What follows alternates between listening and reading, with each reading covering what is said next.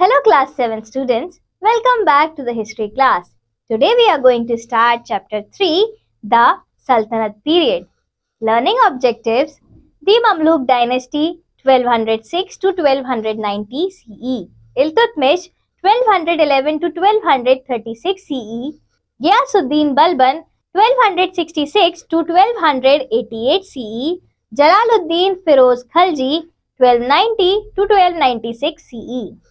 The Tughlaq dynasty 1320 to 1414 CE, Muhammad bin Tughlaq 1325 to 1351 CE, the Sayyid dynasty 1414 to 1451 CE, some aspects of Sultanate rules, Qutbuddin Aibak 1206 to 1210 CE, Razia Sultan 1236 to 1240 CE, the Khalji dynasty 1260 to 1320 CE, Alauddin Khalji 1296 to 1316 CE, Ghiyasuddin Tughlaq 1320 to 1325 CE, Firoz Shah Tughlaq 1351 to 1388 CE, the Lodi dynasty 1451 to 1526 CE. Let's warm up. The given picture shows coins of Muhammad bin Tughlaq. A. How these coins are different from earlier era coins. B. Can you guess the metal from which these coins are made up of? Application skills. The Sultan was considered as the head of the Delhi Sultanate. His words was regarded as the law. He was also the chief executive, the highest judicial authority and the commander-in-chief of the army. Thus, he was an absolute ruler. He considered himself a part of the Islamic world. He was advised by the chief Qazi. The officials maintained all records and they also collected revenue. The Wazir was the main figure in the administration. He was also the head of the revenue department. The Bakshi was the playmaster of the army. The Qazi was the chief judge. He also gave advice to the Sultan on religious issues. Several other officers acted as the administrative heads of various departments. Justice was based on the holy law in the case of Muslims. The Sultan did not interfere in the traditional laws of the Hindus.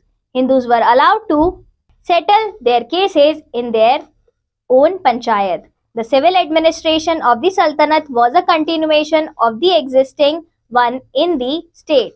Answer the following questions. A. Mention the importance of Sultan in the Sultanate period. B. What was the role of Wazir in the administration? C. What was the condition of Hindus in the Sultanate period? After defeating Prithviraj Chauhan in the Second Battle of Tarain in 1191, Muhammad Ghori became the king of the Delhi region. He had no children of his own and he considered his Turkish slaves as one of his own. After his death, one of his slaves named Qutbuddin Aibak became the Sultan of Delhi and founded the Mamluk dynasty. The Sultanate lasted ruled for almost 300 years from 1206 to 1526 and this period is known as the age of Delhi Sultanate. Five dynasties that ruled during this period were then conquered and overtaken by Mughal dynasty. Fact file The historians gather information from old documents, evidences and accounts of travelers. The existence of the Sultanate period is registered mainly through accounts and chronicles of travelers and courtiers, while other evidence like coins, inscriptions and monuments are as important as the documents. The Mamluk dynasty 1206 to 1290 CE. In Arabic language, Mamluk means owned. After the death of Muhammad Ghori, his territories were divided into four parts and given to his Turkish slaves, who he considered as his own children. The region of Delhi fell under Qutbuddin Aibak, who founded the Mamluk dynasty or the slave dynasty. Qutbuddin Aibak 1206 to 1210 CE. Qutbuddin Aibak was the first Sultan of Delhi. The Indian territories conquered by Muhammad Ghori were given to him to rule. He started the Mamluk dynasty and ruled during 1206 to 1210. During this short period, he expanded his territories all over North India and the kingdom became the Delhi Sultanate. This is the picture of Qutbuddin Aibak. He was a kind hearted and generous man. He made a lot of charity in the interest of his people and was known as Lakh Baksh. This is the picture of Qutub Minar. Lakh Baksh by his people. Administration and rule. He tried to set up an efficient administrative structure and shifted his capital from Lahore to Delhi. During his rule, he faced repeated Mongol attacks and the Rajputs and other defeated kings constantly tried to regain their independence. He was a builder and began the construction of Qutub Minar and Quwwatul Islam Mosque. He died in 1210 CE while playing a game of polo. Fact file The iron pillar in the Qutub Minar complex was constructed in the ancient period which has not rusted in over 1600 years of its existence. Iltutmish 1211 to 1236 CE. After the death of Qutbuddin Aibak, his son-in-law Shamsuddin Iltutmish succeeded to the throne in 1211 CE. He is regarded as the first ruler or the real founder of the Sultanate dynasty by historians. He faced many problems regarding the territorial control that he had to take after the death of Qutbuddin Aibak. He faced them all strongly and suppressed rebellions within his empire. This is the tomb of Iltutmish. Administration and rule. Iltutmish was a great ruler. He regained control over all the territories that had slipped out of the hands of the kingdom. After Qutbuddin Aibak's death, he saved his region from Mongolian invasions by refusing to give shelter to a Persian ruler who was pursued by Mongolian ruler. Genghis Khan he expanded his territories, defeating and seizing many Rajput kingdoms and covering the east from Bihar up to Bengal by crushing the revolts. He had a number of sons, but none of them was throne worthy. Before his death in 1236 CE, he wanted his daughter to succeed him. After his death, he was succeeded by his son Rukn-uddin Firuz Shah, but was dethroned because of his incompetence in administering the kingdom. Razia Sultan 1236 to 1240 CE.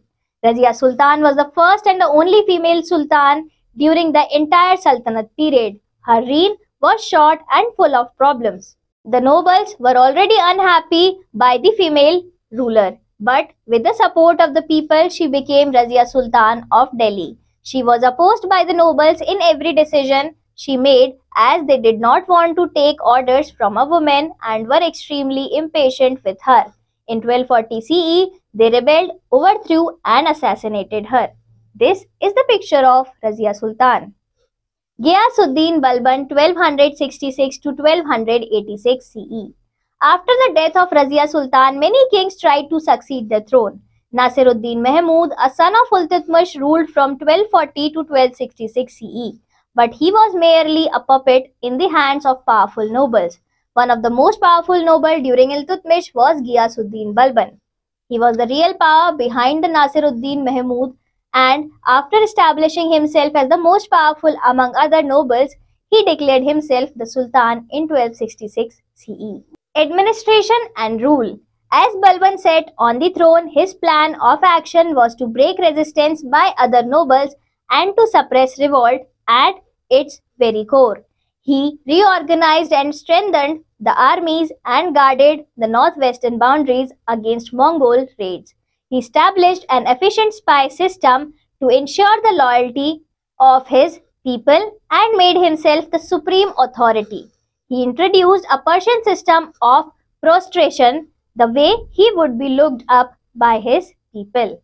The people felt strongly against this custom as it meant giving him the place of God. The end of Mamluk dynasty. Balban died in 1286 CE. He was succeeded by many rulers from 1286 to 1290 CE who proved incapable as the rulers. They were weak and incompetent. In 1290 CE, the Mamluk dynasty came to an end and the Khaljis noble captured the throne. The Khalji dynasty 1290 to 1320 CE. The last ruler of Mamluk dynasty, Muizuddin Kaikabad, was killed by Jalaluddin Firuz Khalji in 1290 CE and the later became the first ruler of Khalji dynasty. The Khaljis had their ancestry from Turko-Afghan. The Khaljis ruled for three decades and expanded and established the Sultanate up to central India. In this map, you can see the extent of Khalji dynasty.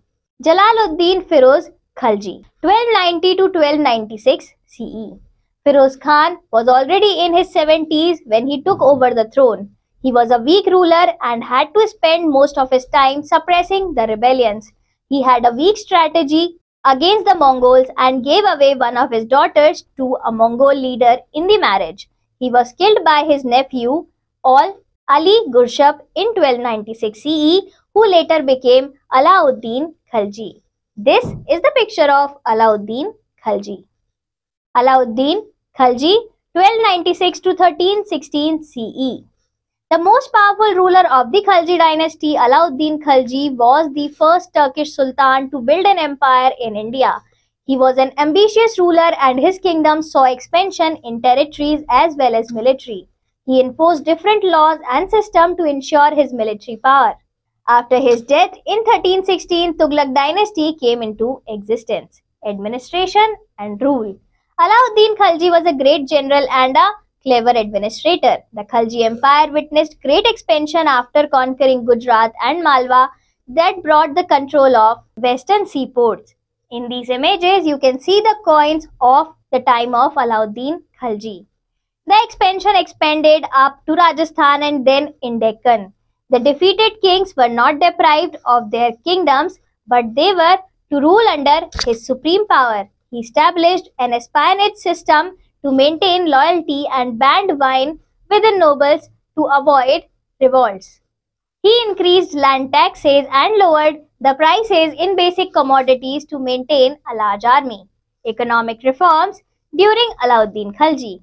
Economic measures were taken because Alauddin Khalji wanted to maintain his large armies.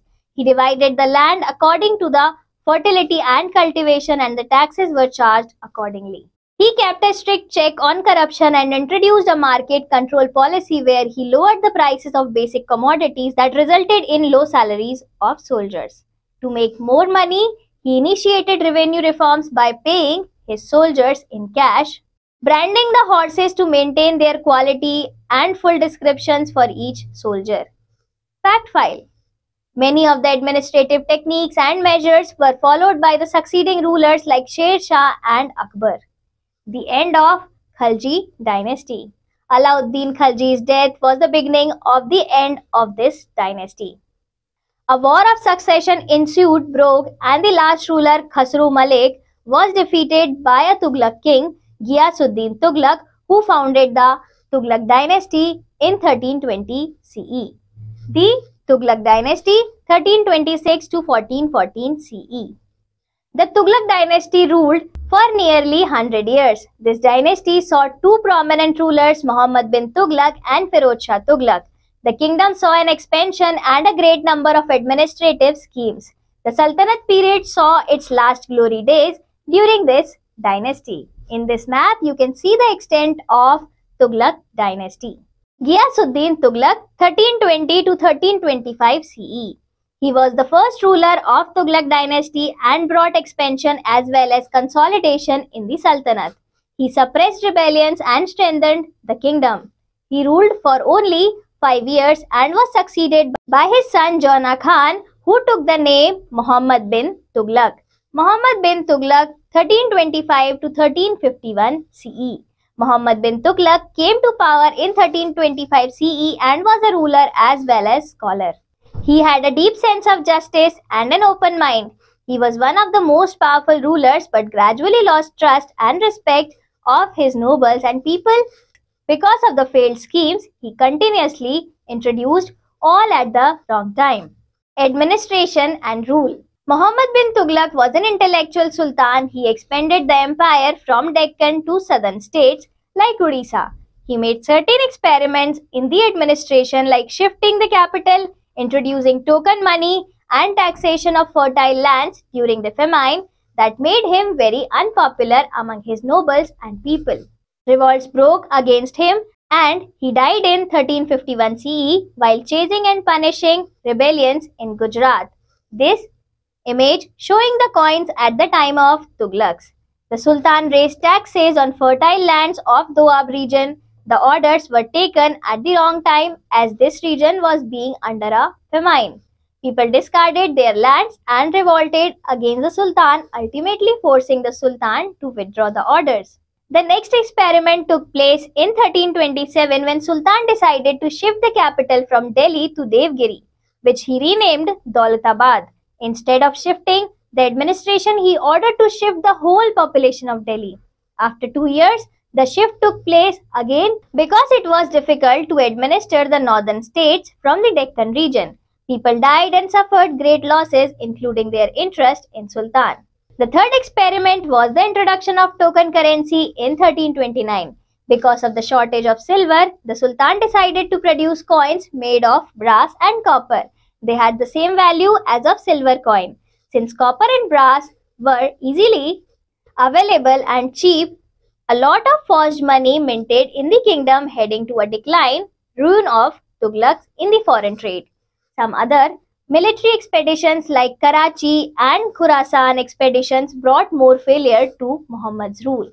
Ibn Battuta was a Muslim traveler and explorer from Morocco who is considered one of the greatest travelers of all time. Ibn Battuta was famous for his traveling and undertaking excursions known as the Rihla. He was a Qazi for eight years in the court of Muhammad bin Tughlaq. A Qazi ul Mumalik was the chief judge of the Sultan and was the head of the legal system. He heard appeals from lower courts as well. He wrote in his court in his account that the Sultan had many great ideas and plans that failed because the common people could not understand him. Fact file Journeys of Ibn Battuta lasted for a period of almost 30 years, covering nearly the whole of the known Islamic world and beyond. Firuz Shah Tughlaq 1351 to 1388 CE. Firuz Shah Tughlaq was the cousin of Muhammad bin Tughlaq. He came into power by the support of nobles and other important people in the administration. He was a literate person and a reformer during his rule. His main aim was to consolidate the kingdom. During the Sultanate period, his reign had the most expanded territories. This is the picture of Firuz Shah Tughlaq. After his death in 1388, the revolts broke up the kingdom as the successors were incapable of holding the empire together, resulting in the decline of Tughlaq dynasty. Administrative rule Firuz Shah was a reformer and a constructive sultan. He built many tanks, wells, canals, and hospitals. He was a patronized scholar and established many educational institutions. He built hundreds of towns, founded many, and restored old buildings. The noble and people were happy under his reign. The end of Tughlaq dynasty and Timur's invasion. After Firuz Shah Tughlaq's death, the empire was divided. Many regions became independent and the Sultanate was reduced to Delhi and nearby regions. The Mongols tried to invade the Indian territories many times during the past three dynasties but failed. But after the end of Tughlaq dynasty, it became quite easy to invade. The Mongol ruler Timur ruled over a large empire in Central Asia, defeated the last sultan of Tughlaq dynasty, Nasiruddin Tughlaq, who attacked and invaded Delhi. Thousands were killed and the wealth was looted. After the invasion, Timur left Delhi and appointed Khijr Khan in charge of the region. Khijr Khan became the first ruler of the Sayyid dynasty. The Sayyid dynasty 1414 to 1451 CE. The Sayyid dynasty ruled for a short time. It was weak and the last dynasty to have Turkish origins. Four rulers came during this period. The first ruler was Khijr Khan Sayyid and the last ruler was Alauddin Alam Shah Sayyid. Khijr Khan was the governor in Multan under Firuz Shah Tughlaq. He joined Timur's invasion and started his rule in Delhi after conquering it in 1414. Khijr Khan was succeeded by his son Mubarak Shah Sayyid in 1421. He could have become a great ruler, but the nobles never supported him. Muhammad Shah Sayyid succeeded to the throne in 1434 and the nobles enjoyed great power under his reign. Alauddin Alam Shah was the last ruler of Sayyid dynasty with his brief rule from 1443 to 1451. He lost ruins of Sayyid dynasty Delhi to Behlul Lodi, who established and became the first ruler of the Lodi dynasty in 1451 CE. The Lodi dynasty 1451 to 1526 CE. The Lodi dynasty, unlike former four dynasties, had its origin in Afghan ancestry. The first ruler of this dynasty was Behlul Lodi in 1451. He tried to reconstruct and bring back the Sultanate. This is the picture of Behlul Lodi. He appointed loyal Afghan nobles in place of rebellion governors and expanded the territory from Punjab to Bihar. This is the picture of tomb of Sikandar Lodi. He was succeeded by his son Sikandar Lodi in 1489. He was the most powerful ruler in Lodi dynasty and annexed Bihar and Jaunpur. He founded the city of Agra and made it the capital. He was a reformer and signed a treaty with Bengal. After his death in 1517, his second son Ibrahim Lodi succeeded to the throne. The nobles were against him and conspired with Babur, a Mughal ruler, to overthrow him. In 1526, Babur defeated Ibrahim in the first battle of Panipat and the Sultanate period was officially ended. Some aspects of Sultanate rule. The Sultan. He was the most powerful and important person in the empire. He had the highest authority, but to rule the kingdom, he needed the support of nobles and other religious figures known as ulema. He was both the Chief Justice and the Commander-in-Chief of the army. He had to be practical, intelligent, and resourceful. He should be wise and clever at the same time. During the Sultanate period, there was a constant conflict for authority between the Sultan and the nobles or the Sultan and ulema, but the last word was of the Sultan.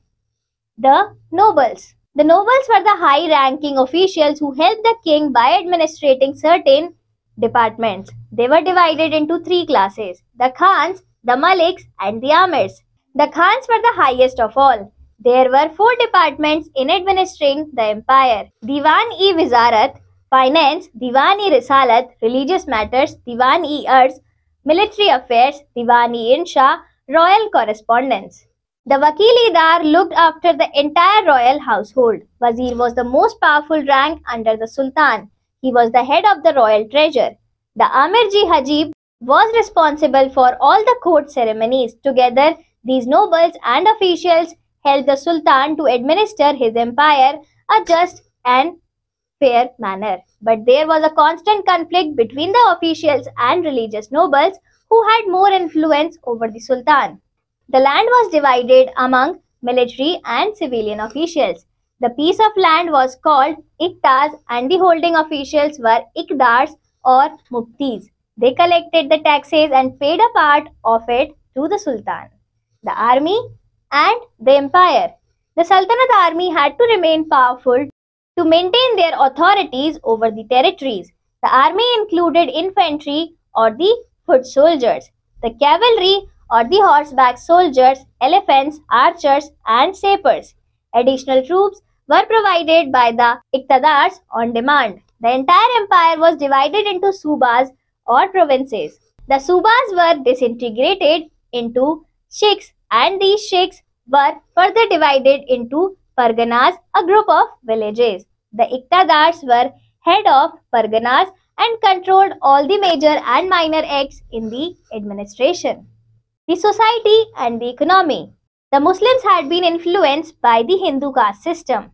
The nobles were the topmost and highest ranking class. The Sultan had many slaves and they were provided with high education. Only the loyal and capable ones rose to certain ranks in the army or officials. The peasants or the common people lived a life of misery as taxes were certainly high and the revenue officials constantly exploited them for their poverty. There were certain taxes that made the life of common man more miserable Taxes like kharaj, land tax, ghari, house tax, and charai, cattle tax were enough to deprive the common man of his luxuries. Some sultans used taxes to maintain their large armies because of which the prices rose and so did the rebellions. Fact file During the Sultanate period, many sultans ordered to destroy temples and other monuments that had relevance with any other religions. The Muslims were stern in implementing their own religion over the people. These are some of the maps given below explaining the extent of the, of the dynasties of Sultanate period. First, Mamluk dynasty, Khalji dynasty, Tughlaq dynasty, Lodi dynasty. Value and life skills. You are a peasant or the common person under the Sultanate period and you cannot pay the taxes demanded by the Sultan. What will you do to convince the Sultan about your problem? Recapitulation. Five dynasties ruled over Delhi during the Sultanate period from 1206 to 1526 CE. The first dynasty was the Mamluk dynasty or the slave dynasty. They ruled from 1206 to 1290 CE. The founder of the slave dynasty was Qutbuddin Aibak. The second dynasty was Khalji dynasty and Alauddin Khalji was one of the most important sultans of this dynasty. This dynasty ruled from 1290 to 1329. The Tughlaq dynasty ruled from 1329 to 1414 and was the last powerful dynasty of this period. The invasion of Timur disintegrated the kingdom and Sayyid dynasty came into existence in 1414 and ruled till 1451. The last dynasty of the Sultanate period was the Lodi dynasty. It ruled from 1451 till 1526 until Babur defeated the last king Ibrahim Lodi and that marked the end of the Sultanate period over Delhi. Thank you class. Let's meet again in the next chapter.